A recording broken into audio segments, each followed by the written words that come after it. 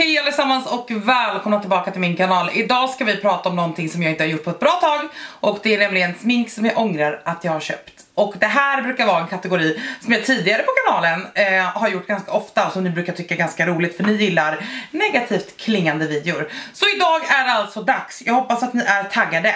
Vi kör igång helt enkelt. Den första produkten som jag ångrar att jag har spenderat mina hårt ihoptjänade pengar på är Sensai's Flawless Satin Foundation. Det här är en ganska dyr foundation, 5 eller 600 kronor. Det är en jättebästsäljare men alltså jag använder inte den här. Oavsett vilken färg jag har haft, för jag har två stycken såna här, så är alla de här färgerna extremt, extremt rosa i undertonen. Och det gör liksom att jag, jag kommer inte undan med det. Jag är neutral i undertonen, men om jag måste välja så linar jag hellre lite mer åt det gula.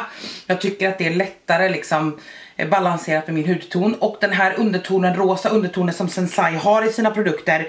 Det här är liksom ett genomgående tema tycker jag. Jag ser bara ut, jag ser bara orange och smutsig ut liksom. Kolla här nu när jag tar ut den på handen. Det blir liksom inte alls någon fin finish överhuvudtaget.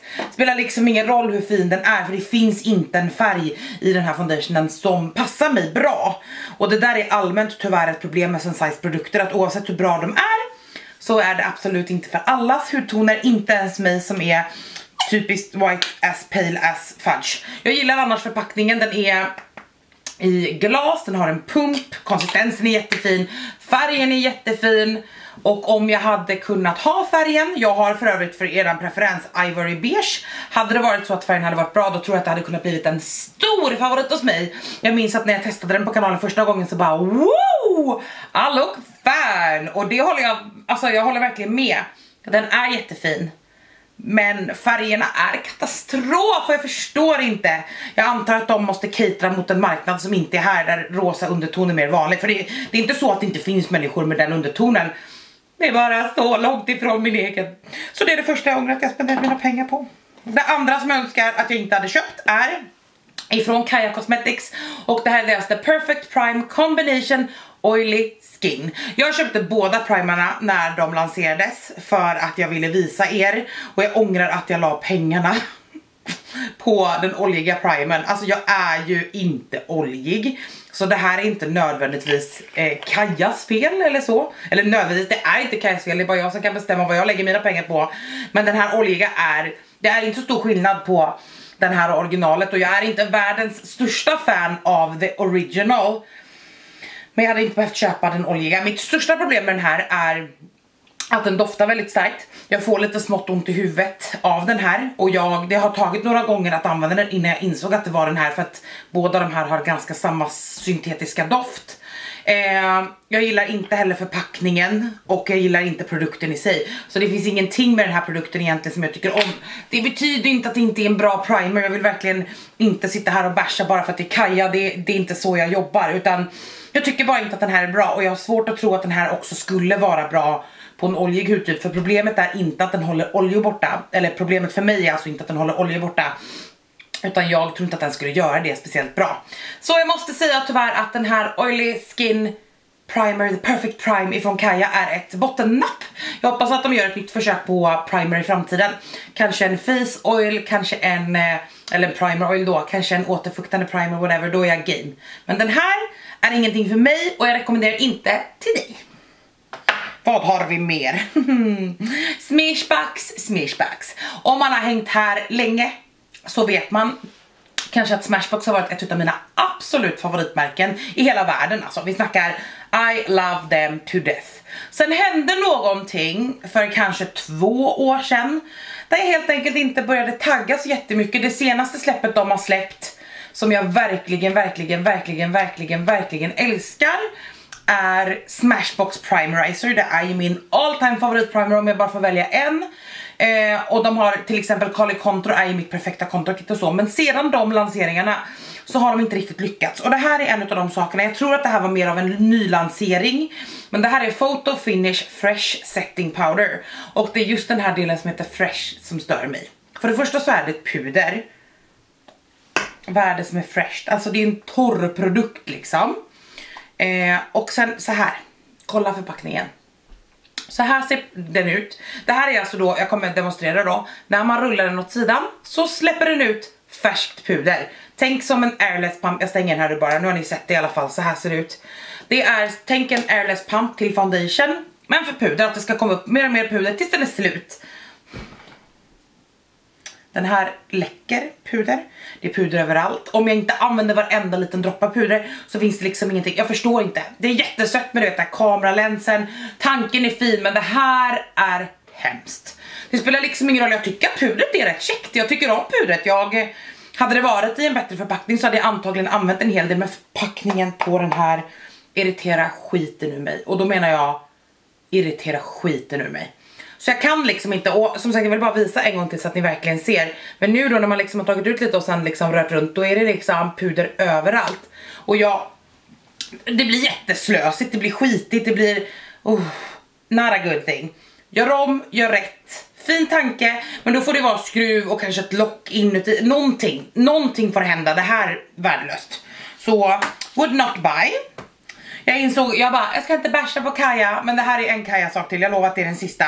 Och det är Kaja Cosmetics Metallics Palette. Den här ångrar jag att jag har köpt för att jag har aldrig använt den igen efter att jag gjorde, jag gjorde videon här på Youtube när den här lanserades. Och jag använde den en eller två gånger, två gånger tror jag, på min Instagram.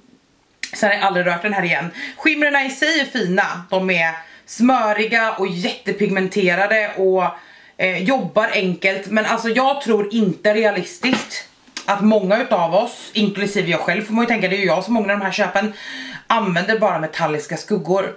Hade det här varit typ så här eh, 10 stycken sjukt pigmenterade duochromes som vi aldrig har sett innan, bla bla bla, då hade det varit en sak. Men det första så är det liksom, de här skimmerna finns i Kajas vanliga eh, paletter, eller alltså jag vet inte om det är exakt samma färger men, eller formula menar jag, men metalliska skuggor finns ju i Kajas vanliga paletter och jag har hellre en mix utav, eh, ja men utav matta och skimriga eller så har jag lösskuggor. Alltså förstår du, jag, om jag ska bara ha en skimmerlook för någonting enkelt, vet du, för det, blir, det är väldigt enkelt att göra en väldigt effektfull skimrig look liksom, då använder inte jag den här. Och jag använder inte 10 stycken av nästan, alltså på ögat så kan du typ inte se skillnad på de här liksom. Typ de här fyra som är här och den kanske. Det är typ, alltså det blir precis samma skit på ögat. Så I don't like it. Eller nej, jag tycker skimrarna är fina. Det är inte värt prislappen. Det är inte värd investeringen överhuvudtaget. Också extremt billig förpackning när Kaja ska ha så himla lyxigt. Jag har ändå inget problem med Kajas priser. Om vi tänker rougen, och för de känns lyxiga. Jag köper det 100%. Det här, det här känns billigare än Colourpop. And I don't like it. Jag har en till ögonskuggspalett som jag inte gillar av den anledningen. Jag har använt den här fyra gånger tror jag, max. Det här är Anastasia Beverly Hills collab tillsammans med Alyssa Edwards. Jag köpte den här av en anledning och en anledning endast och det är att jag samlar på alla Anastasias paletter. Och jag älskar ju dem, alltså den här ser inte använd ut. Jag har använt den fyra gånger, jag tittade innan den här videon eh, på videor och bilder och sådär. Jag hittade fyra looks i alla fall, jag kan ha använt den någon mer gång. Men den här har inte alls samma kvalitet som Anastasias andra paletter. Jag står också inte ut med att eh, alla andra paletter har texturer på utsidan och den här är bara, du vet, plastig och glattig och så. Jag gillar det här, men jag, jag, jag vet inte, det stör mig så mycket att det inte är enhetligt. Och eh, ja, nej, jag tycker inte att de här skuggorna är i samma kvalitet som de andra paletterna. Jag har sett väldigt lite om den här paletten överlag. Eh, synd, för den här blåa till exempel och den här lila är ju så fina. Men de är inte samma kvalitet som Anastasias vanliga formula. Och det är synd för att Anastasia gör ju min absoluta favorit ögonskuggsformula. Det är en fin palett men det är inte mer än så. Jag är dock, jag ångrar egentligen kanske inte att jag köpt den. Eh, för att jag samlar ju på hela liksom. Jag kommer alltid köpa alla Anastasias paletter, det är bara så. You can hate me for it. Marc Jacobs släppte en Omega Glaze. Och jag köpte den här. Eh, hur många gånger tror ni att jag har använt den här? Den här är liksom mörkare än eh, bronzer på mig. Och den är guldig och den är fancy and I love it. Man kan liksom se hela indenten. Jag har typ aldrig använt den här för jag kan inte använda den här. Om ni vill så kan ni få se. Jag tar min highlighterpensel. Alltså jag kan inte kolla. Den här är ju bara mörk på mig. Nu får ni, nu får ni stå ut med att det mörk highlight på den sidan. Men här är bara som en guldglaze och jag hade någon tanke med att men jag kanske bränner utan sola mig. Jag kan ha den lite på axeln men jag kom inte det och den här kostade typ 500 spänn. Jag vet inte ens om det räcker. Jag älskar ju solpudrarna i den här, åh oh, nu stoppade jag en nagel i det, fuck my life. Eh, jag älskar ju bronserna i den här förpackningen. But I wish I didn't buy this. Linda Hallbergs ögonskuggsprimer. Eh, jag testade den här i en video. Alldeles, alldeles för matt för mig nu när jag har eksem på mina ögonlock. Inte chockad. Och jag skyllde ifrån mig den videon att, men det är så typ ingenting som funkar just nu för att jag har så mycket eksem. Men jag har testat alla mina genomskinliga primers 24 timmar ifrån MAC. Jag har testat eh, Makeup Stores Eye Primer som också är genomskinlig typ i samma textur som den här. Jag har testat, ja men jag har två, tre till sådana där. Jag har testat flera. Det är bara den här som suger. Och jättekonstigt tycker jag med tanke på att Linda Hallberg själv är ju sånt ögonskuggsqueen. Så det gör mig lite ledsen att den här är så dålig. Men den här ångrar jag att jag har köpt.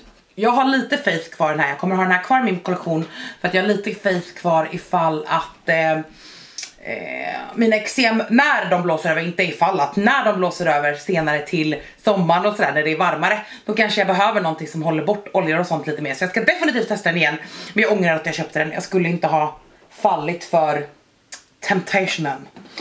Eh, Glossier Soothing Face Mist älskade jag först. Men jag fixar inte, det här är en rosvatten mist. Jag får finnar, jag får blämmor, jag får ont, jag blir röd. Det här är ingen bra mist alltså. Eller misten i sig är jättefin och om man inte har någon, mm det luktar så gott, om man inte har något problem med ros vilket jag egentligen inte har men det måste vara det. Jag har liksom analyserat sönder den här. Den har i och för sig alkohol och sånt ganska mycket men jag brukar inte liksom så. Det är mycket essential oils och jag tror att det är därför som jag inte står ut med den. Så den här kommer jag inte att använda så mycket mer kan vi säga. Synd för att jag tycker att ros säger trevligt. Men den här är got to go. En sak som jag inte tycker illa om på något vis, men jag ångrar lite att jag köpte för att jag köpte verkligen fel färg. Det är Charlotte Tilbury, ni har sett när jag testade hennes smink på kanalen. Det här är alltså Charlotte Tilburys bronzer. Och jag önskar, alltså den här, jag kan använda den här. Men jag önskar att jag hade köpt en mörkare färg. Det här är alltså fair, jag önskar att jag hade köpt light. För fair är väldigt ljus, vilket jag tycker är väldigt, det är gött för att det finns inte så mycket bronzers som är ljusa nog. Men jag önskar att jag hade köpt light. För att jag använder ju ändå, oj oj oj, här river vi saker hörni.